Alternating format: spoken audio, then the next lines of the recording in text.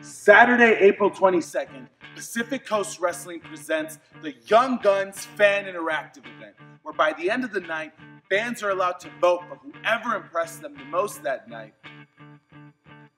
with the winner receiving a spot at the next PCW show, Showdown, on June 2nd.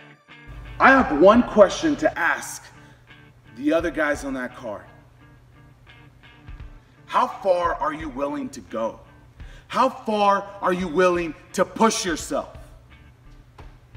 Whatever you think you can do, I can do better.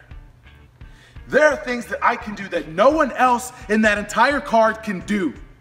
I'm gonna do what I do best and put my body on the line to make sure that by the end of the night, I prove I belong at PCW. Come Saturday, April 22nd, I do everything in my power to get a spot at PCW. Obsession? No. It's ambition. Ambition to be the very best. PCW, get ready. Jake Atlas is coming.